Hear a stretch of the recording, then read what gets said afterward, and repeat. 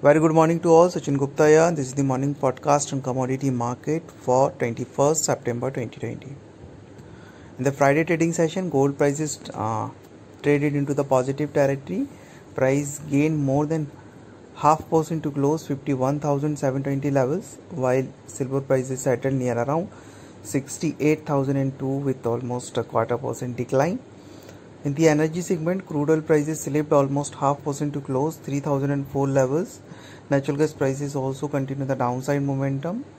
It has decreased by almost half percent to close 150 levels. The base metal segment, almost all of the base metals has traded into the positive territory.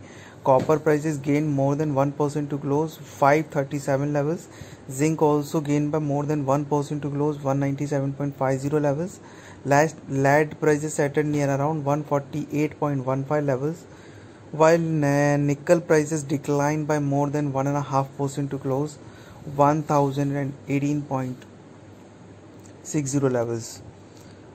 Now come for the day on the COMEX division. Gold prices trading near around $1957 while and uh, silver prices also trading near around 26.96 and 97 dollar per ounce. WTI crude oil prices trading near around 41.32 and Brent is trading around 43.10 levels. So on the domestic front, if gold prices open between the range of 51,600 and 51,700, one can go for the buy positions with the stop loss of 51,500 for the upside target of 51,900 and 52,100 come to the silver if silver price is open between the range of 68100 and 68000 and 68100 one can go for the buy positions with the strict stop loss of 67700 for the upside target of 68800 and 69000 uh, crude oil prices open between the range of 3000 3010 one can go for the buy positions with the strict stop loss of